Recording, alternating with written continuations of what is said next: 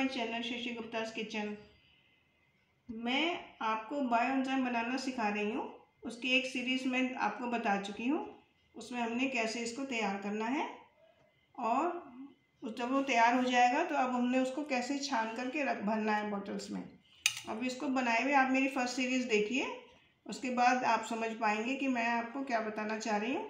बायोजाम एक ऐसा है जो हम अपने पील से बनाते हैं और इससे इसमें केमिकल बिल्कुल नहीं होता है। ये गुड़, पानी और लेमन पील या कोई भी पील हो ऑरेंज पील हो, उसको मिक्स करके रखते हैं। वन थ्री और टेन की रेशो में। तो उसके बाद ये तीन महीने तक रखा जाता है। और उसमें ये, उसके बाद हम इसको छान के बॉटल्स में भर लेते हैं। तो इसमें ये मैं छान के आपको बताती हूँ। ये इसको आपको पूरा डिटेल देखने के लिए मेरा पहला सीरीज़ देख लीजिएगा। अब देखिए, मैं इसको छान रही देखो, तैयार हो गया इसमें तीन तारीख मैंने डाली हुई थी। कल इसको अक्टूबर, तीन जुलाई से मैंने शुरू किया हुआ है। अब इसको अक्टूबर आ गया अब ये स्टार्ट हो, मैं उसको स्टार्ट कर रही हूँ छानना। ये देखिए कितना अच्छा कलर आया ये मैंने और, मौसमी ऑरेंज पेल से मिल के बनाया था। देखिए, अब इसको किसी बारीक छन्नी कपड़े से छान लीजिए। जो थोड़ा सा इसमें पोरस हो, जिसमें छेद हो, उसे अच्छे से छन जाएगा और हमारा गुद्दा नीचे रह जाएगा। आपने इस गुद्दे को फेंकना नहीं है। इसको आप सुखा करके, इसको आप सुखा लीजिए और या अदरवाइज़ इनको थोड़ा थोड़ा करके प्लांट्स में डाल सकते हैं इस गुद्दे को। इससे भी आप रब कर सकते हैं चीज़ें तो ये साफ़ हो जाएगा सामान। लेकिन इसको निकालने के लिए आपको बॉटल काटनी पड़ेगी, तभी निकलेगा। मैंने इसको सारा छान लिया है। ऐसे ही मैं दूसरी बॉटल का भी छान लेती हूँ। ये मेरे सब तैयार हो गए। मैंने पाँच बॉटल बनाई थी। ये देखिए, इसको भी मैं छान लिया ये पल्प हमने फेंकना नहीं है बिल्कुल भी। ये बहुत यूज़फुल होता है।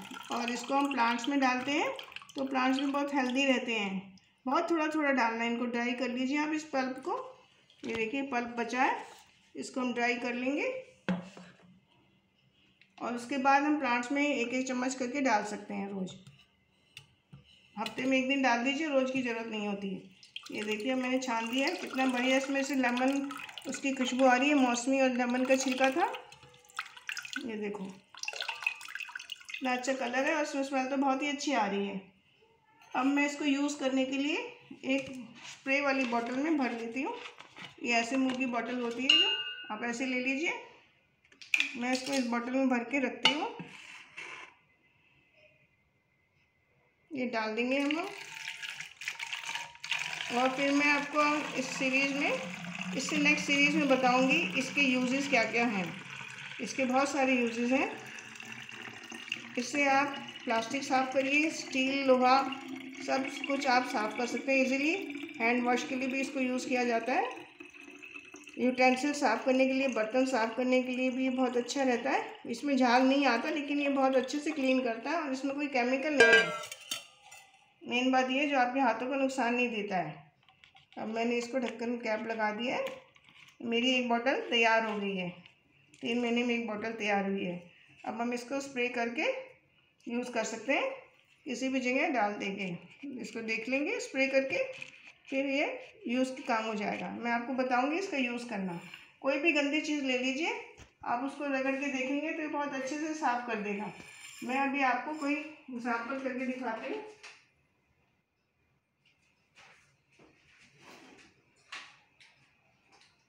अब ये मेरे पास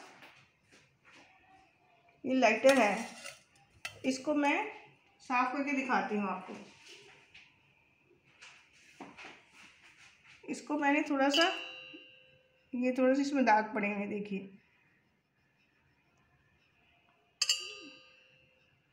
ये मैं इसको हाथ से ही लगा दिया मैंने।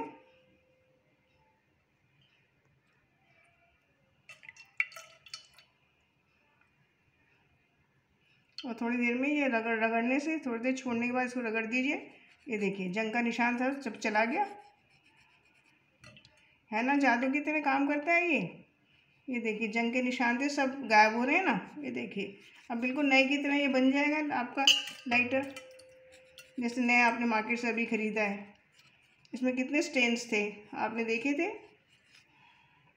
ये देखिए, अब मैं इसको रब कर देती हूँ। आप थोड़ी देर इसको और रखेंगे तो ये और चमक जाएगा। और इसके निशान बिल्कुल उतर गए हैं। देखिए, कपड़ा भी काला हो गया है। इसमें सब निकल गए हैं, इसके जंग के निशान रस्ट के। तो ऐसे ही आप किसी भी चीज़ को, प्लास्टिक को, स्टील को, इवन जो आयोडाइज सिल्वर हो जाते हैं ख़राब, उनको भी आप इससे साफ़ कर सकते हैं। आपको मेरा ये पसंद आया बायोजम बनाने का तरीका, उसका यूजेस तो प्लीज़ मेरे चैनल को सब्सक्राइब कीजिए लाइक कीजिए और कमेंट में ज़रूर बताइए कि आपको ये विधि कैसी लगी और प्लीज़ घर में बनाना शुरू कीजिए।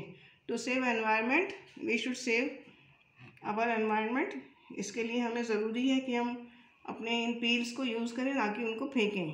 Thank you for watching